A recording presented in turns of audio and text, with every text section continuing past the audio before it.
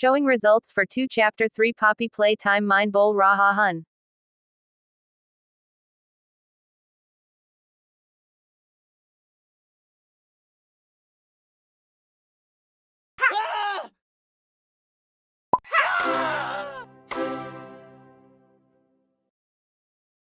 Poppy Playtime chapter three I know ये game अभी तक नहीं आई है और इसका 2023 से पहले आने का कोई भी चांस नहीं है। क्योंकि आपको पता होगा कि पॉपी प्ले टाइम जितनी बड़ी गेम को बनाने में छह महीने का कम से कम वक्त लगता है और छह महीने तो एक नॉर्मल सा टाइम है। इतनी बड़ी गेम को एक साल से पहले बनाना बहुत ही मुश्किल काम है। लेकिन काफ़ी लोग एक्साइटेड है ये जानने के लिए की आखिर Poppy Playtime chapter three के अंदर हमको क्या देखने को मिलेगा और आखिर कौन होगा boss villain in chapter three क्या वो पॉपी होगी या प्रोटोटाइप या कोई और टॉय जिसको अभी तक हम लोग नहीं जानते। इस वीडियो के अंदर हम लोग जानने वाले हैं इन सभी सवालों के जवाब। आप लोग जल्दी से इस वीडियो को एसपी प्ले टाइम चैप्टर थ्री के अंदर हमको क्या देखने को मिल सकता है? First of all Poppy Playtime chapter two की जहाँ पर एंडिंग होती है, जहाँ पर हमारी ट्रेन का एक्सीडेंट हो जाता है, वहीं पर हमको एक हिंट मिल जाता है, एक साइन बोर्ड जिसके ऊपर प्ले केयर लिखा हुआ है। इससे ये पता चलता है की ये ट्रेन प्ले केयर नाम की जगह पर जा रही होती है, जो की इस फैक्ट्री की ही एक साइड है। अब जिस तरह पॉपी प्ले टाइम गेम जहाँ पर हमारी खत्म हुई थी, वहीं पर Poppy